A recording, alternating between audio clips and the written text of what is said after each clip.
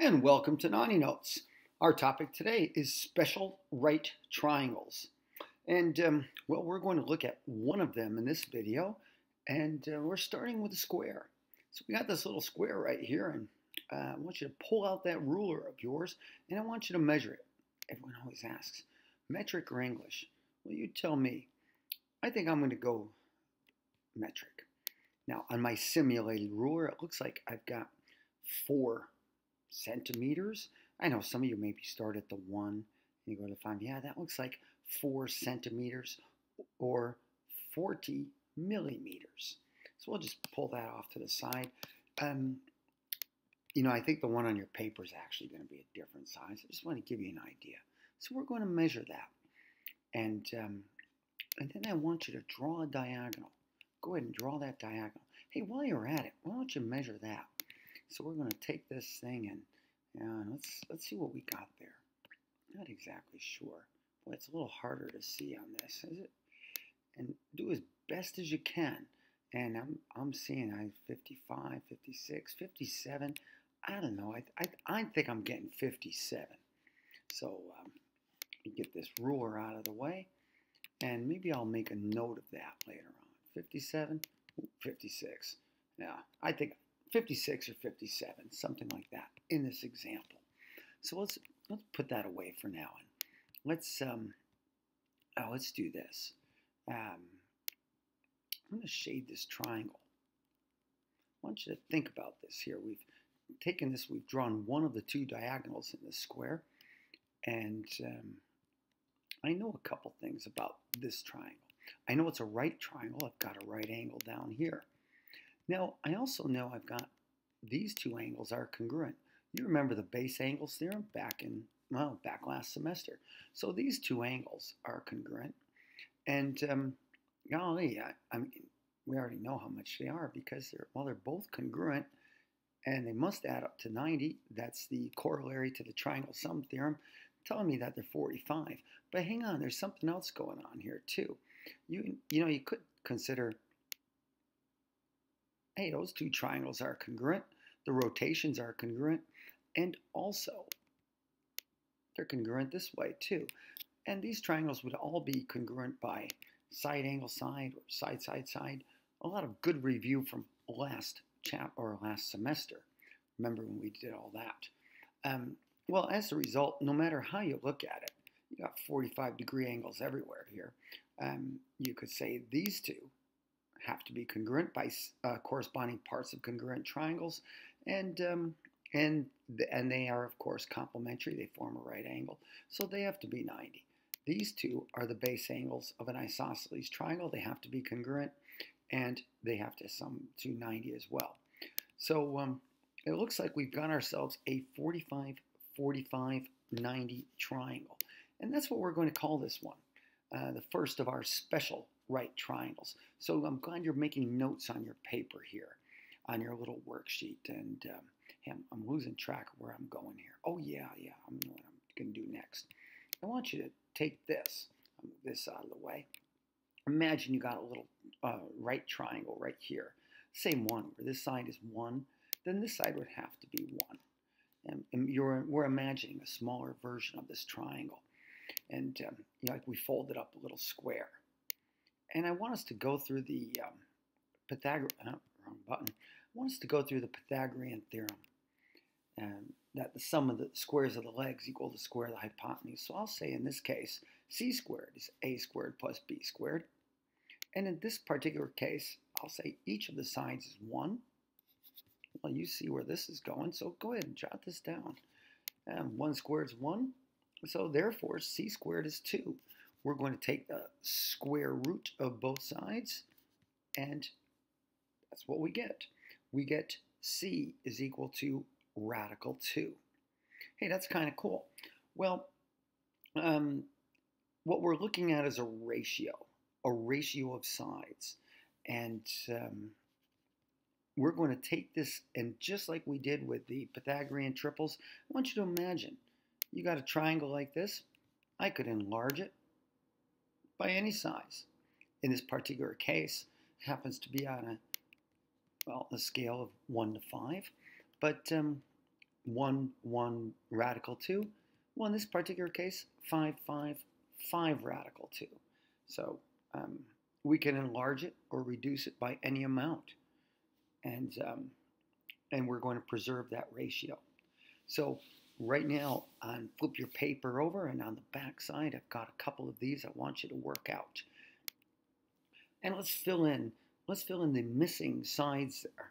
And we're going to go in radical form.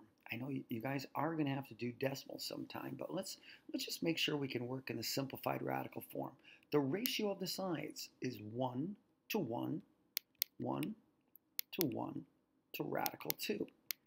Well, the problems always start out easy like this. Suppose this is 12, 12, 12, and the missing side, of course, would be 12 radical 2. Um, now, you remember that that's the whole number 12 times that irrational number square root of 2, which is about 1.41. We'll, we'll, don't worry, we'll do a little decimal towards the end. And let's look at the green one here.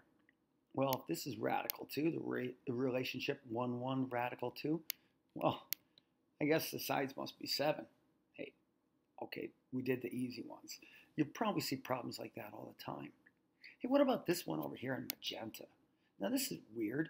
The ratio is 1 to 1 to radical 2. Well, you know, I could set up a proportion. I could say 3 radical 7 is to 1, as this side is to radical 2. I guess I should have written that out, but let's just, I prefer to think of it this way. When you're going from this side to this side, multiply by the square root of 2. What's 3 radical 7 times the square root of 2?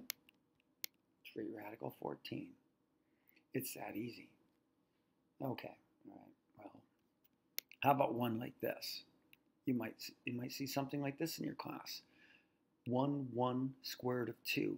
I'm going to multiply 5 radical 2 times radical 2. And you all probably remember, oh yeah, that's the whole number 10. And there it is. There's the justification. 5 radical 2 times radical 2 is 5 times 2, or 10. How about in this case? I've got a hypotenuse of 12. 1, 1 square root of 2. When I'm going from here to here, I'm going to divide by radical 2. Well, when I divide by radical 2, 12 divided by radical 2, I then rationalize the denominator. Remember, I, I, divide, and well, when I do that, I multiply by the square root of 2 over 2. That's going to give me 12 radical 2 over 2. Divide out the 2's, I've got 6 radical 2. Yeah, I'll tell you the truth. I, I tell my students the easy way to do this. You can rational, divide and rationalize at the same time. Take the number 12. What's half of 12? 6. 6 radical 2. And that works every single time. Yeah, even this time too. You're looking at this one and say, wow, that's ugly. And um, yeah, that's kind of odd. 7 radical 5. I don't know why you would have that there, but, but let's not lose sight of the fact. I'm going to go from here to here. I'm going to divide by radical 2.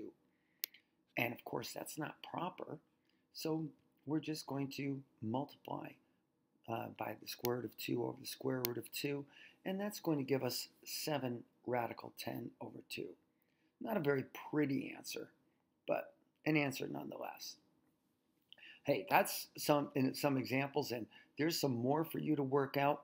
And you know you're going to have to do some decimal work. So, hey, let's go back, flip back to the first.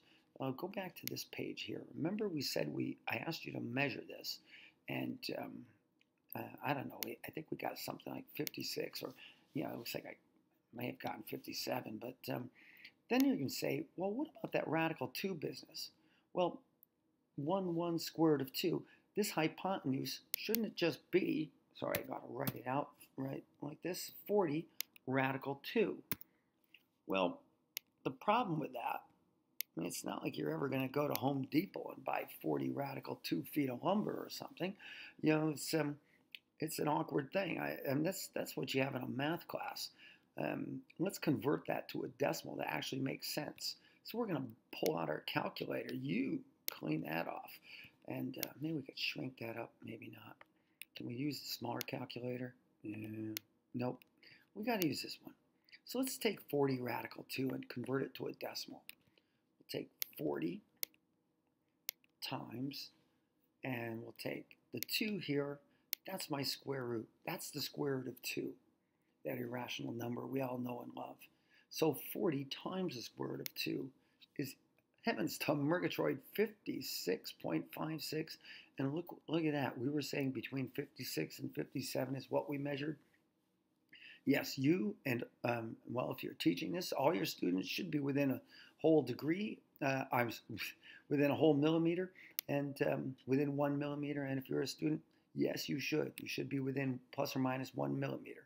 So, um, uh, good job on this. And I guess we'll get to the other one. And, or, well, I mean, there's, I left you some on the back side for you to do yourselves. And, um, and then we can maybe take on the other special right triangle. So that's all for 90 notes. Thank you for watching.